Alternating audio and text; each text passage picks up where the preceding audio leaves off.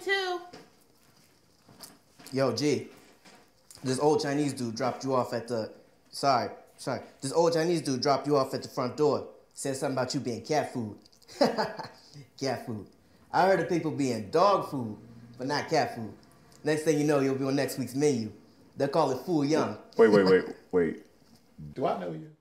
Oh, I'm Ebony's dude. Pleased to meet you. Now, don't go getting all paternal on me. You know, we're not doing the nasty just yet. Not that I haven't tried.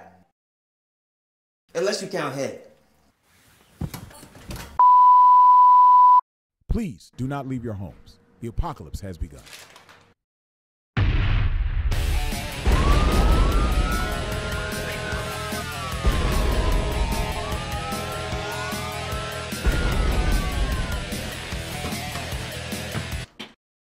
Guess what? Mom's staying with us for the apocalypse.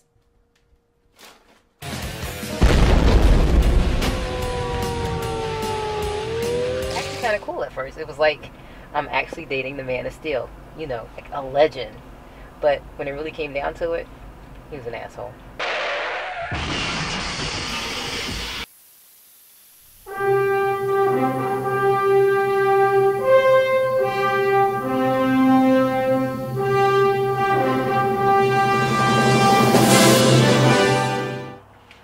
Why gotta be all that?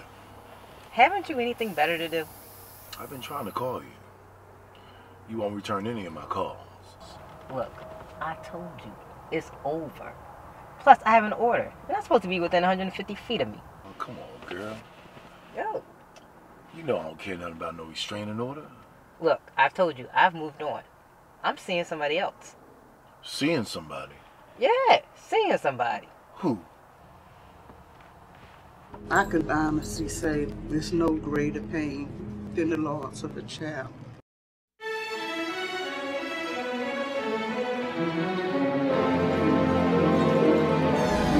I was standing there to protect my son, like I always do. And the guy turned around with the gun, and the gun was so fast, it was so fast. I was born by the river in a little tent. And oh, just like that river, I've been running ever since. Khaled was 24 and was shot to death in December of 2001. He was shot seven times over a parking space. Um, my son was riding his bike, and the boy shot him up on his bike. Our son was uh, murdered uh, January 13th, 2011, in a case of mistaken identity. And somebody decided to shoot 16 times. Nobody was out there fighting or arguing. Somebody just decided to shoot, and as a result, she was shot twice. It's been a long, long time coming, but I know a change gonna come. There's a community responsibility for, for people. Um, violence, I've read, begets violence. My selfishness cost my entire family their lives. How would that make you feel? Yeah, that's how I'd feel.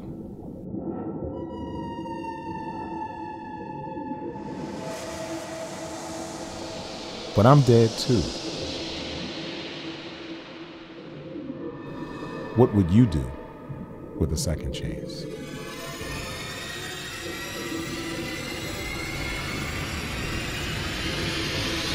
What the fuck?